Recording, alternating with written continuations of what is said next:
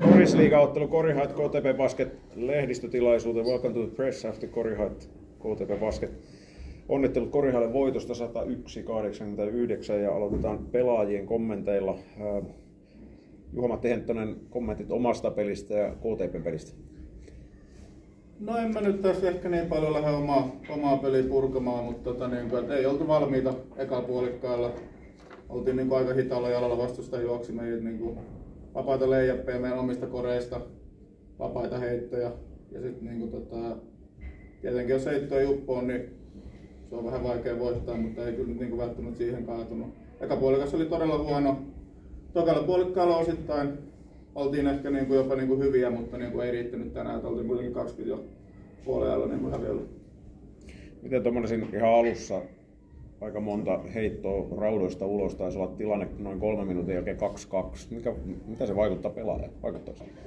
Ei se nyt niinku mitenkään vaikuta pelaaja. Oli hyvää niinku puolustusta siinä alussa niinku molemmilla joukkoilla, mutta meillä tuli sitten niinku sit sen jälkeen niinku muutama ekan minuutin jälkeen niin aika pitkä semmoinen musta, musta jakso, missä ei, niinku, ei saatu niinku koreja. Sitten se meni ehkä vähän niinku enemmän niinku puskemiseksi eikä niinku joukkojen pelaamiseksi. Sitten niinku vastusta juoksi paljon nopeita hyökkäyksiä. Näin. Onko lehdessä. Selvä. Odotan Juha-Matti sen verran, että kysellään kotijoukkueen pelaajalta Joni Herravalta sadalla prosentilla heitot tänään sisällä omasta pelistä ja joukkueen pelistä kommentit. No pojat voisi syöttää useamminkin.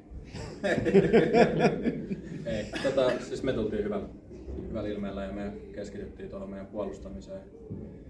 Mä taisin puoli aika haastattelussa sanoa, että me ollaan 4-5 peliä päästetty yli 90 pinnaa ja viime kerran Lahti kävi täällä 109 tekemässä. Et siihen me satsattiin. Nyt me saatiin alle 90 loppujen lopuksi KTP pidettiin, mutta se ekan puolen, puolen puolustaminen oli meillä aika, aika hyvä omasta näkökulmasta. Et siihen, ei se varmaan ratkennut ihan siihen, mutta siihen, ja se, siihen nosti meidän omaa sit tekemistä vielä toiselle puolelle ja semmoista hyvää hyvän olon tunnetta, mutta itseluottamusta. Et sitä kautta sitten. Ja Kotka tuli neljännes eräs paikalla ja alkoi juoksee aika luja meiltä jalkoja alta. Et siinä oltiin ehkä vähän hädässä jopa, mutta onneksi Wesley ja Travis osui muutamat kovat kor- korit siinä, että tota, piti, piti, meidät tarpeeksi kaukana sitten KTPstä. Mutta ihan hyvä korisliigamatsi meiltä. Juuri näin. Onko lehdistöllä kysyttävää? Sanoin melkein vastasitte siihen kyllä, mutta tota, niin kuinka paljon keskiviikko vaikutti tähän puolustamiseen. Mun mielestä kyllä niin jalkatyö koko joukkue vaikutti kyllä aika paljon terävämmältä keskiviikko. No kyllä se totta kai vaikutti, että me itsekin nähtiin, että kuinka huonolla jalalla me siinä pelissä oltiin. Että, tota, kaikki, kaikki otti itseensä niskasta kiinni ja semmoista ylpeyttä toi tähän peliin, niin sillä, sillä oli paremman näköistä tänään puolustaminen. Kiitos, päästään pelaajat. Yes. No niin.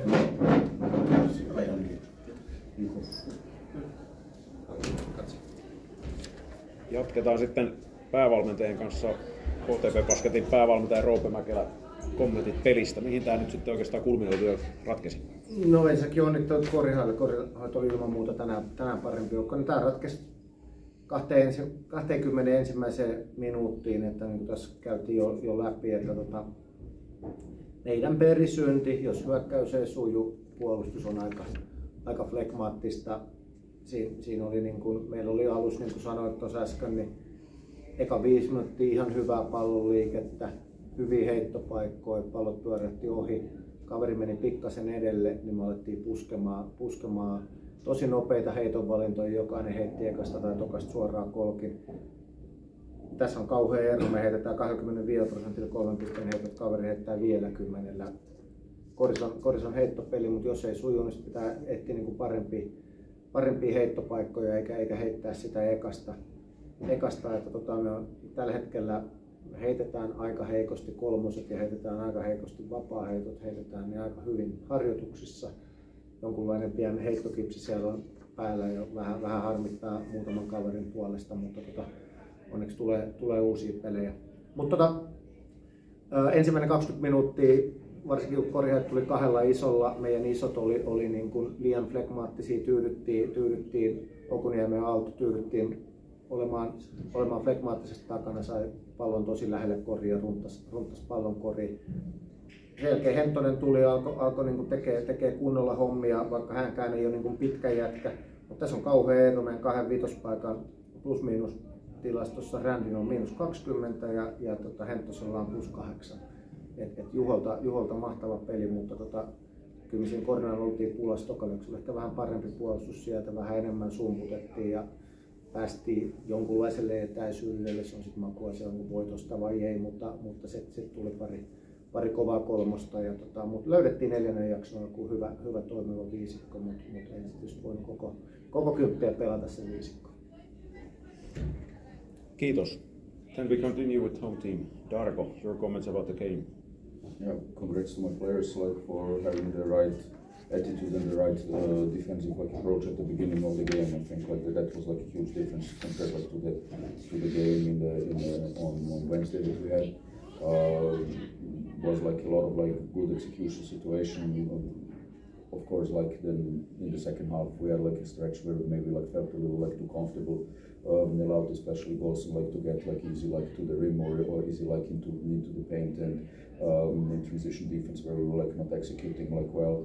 But overall, like for us, maybe like at this moment, most important was like after the last two losses, like to get back like on the winning track uh, because we know like what kind of games are now like waiting like ahead like of us. Um, I mean, we have a tough week like next week, like with Tuesday and then and Friday, like the cup and um, having like the right like self confidence like now after this win is like very important like for us in this moment. Okay, is there a question? Thank you coaches. Kiitos coach. Okay, thank you. Thank you, Roger. All the best. You